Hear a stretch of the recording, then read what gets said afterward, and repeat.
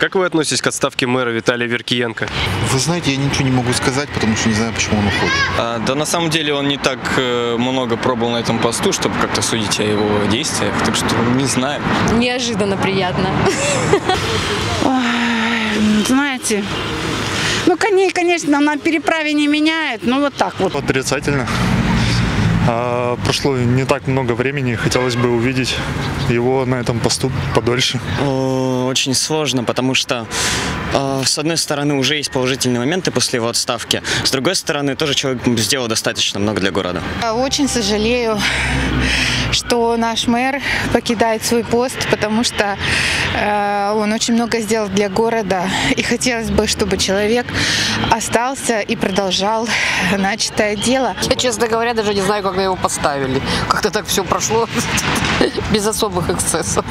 Вот есть что-то вот позитивное, что он все-таки успел сделать самое заметное, на ваш взгляд?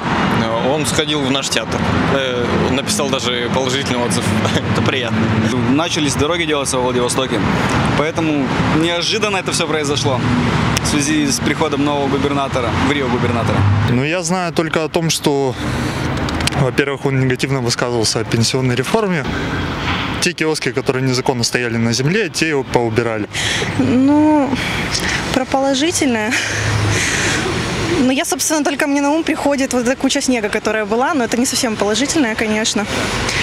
Ну, конечно, работу он работал добросовестно, ну, как бы желательно, он хотел лучше, но получилось как всегда.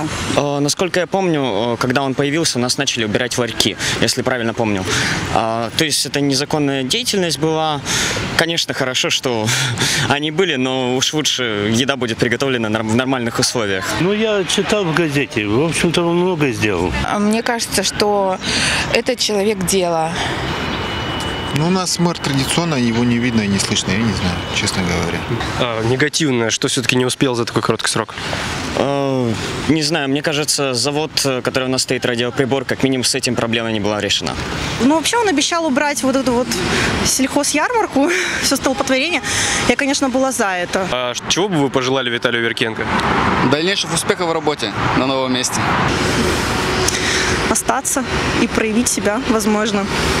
Ну, как-то вернуться бы назад на свое место. Чтобы в любом случае приносил городу Владивостоку а, только хорошие дела.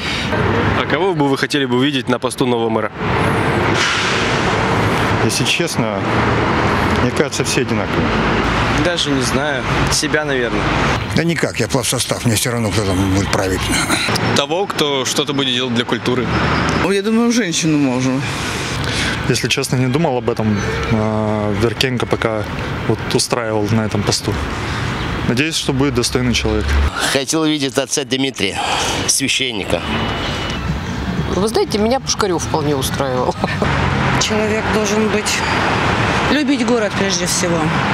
Потому что все остальные перед нами, кто были, все москвичи, и им все равно было на нашу столицу абсолютно. А главное выкачать отсюда все, что можно. Не знаю даже, может, Черепкова, может быть.